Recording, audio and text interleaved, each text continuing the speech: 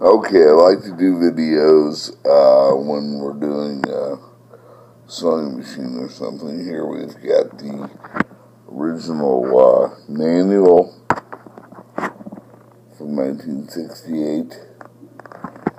Uh, we have the machine. I took uh, pretty good pictures of it. Uh, all the pieces that uh, go with it. There's extra bobbins and such. And uh, it's not strung right now. Thread, but uh, I got it plugged in, so. I don't want to run it too hard.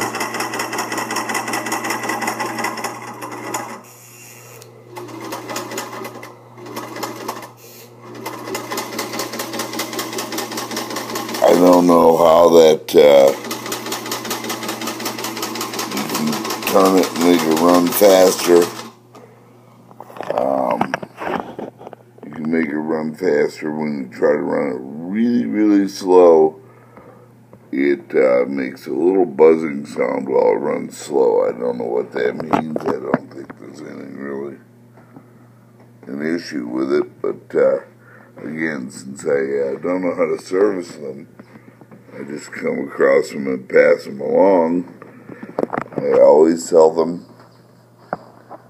as is recommend that uh, you take them to a sewing shop. does have a nice case.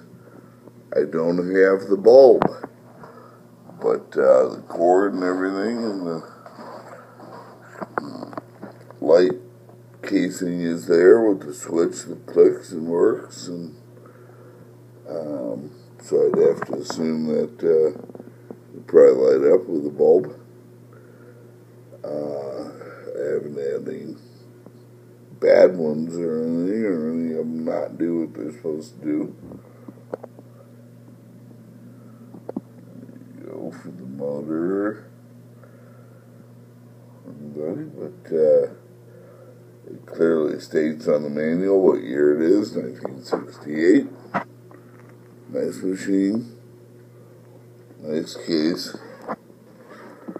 Case isn't too bad, I haven't even dusted it.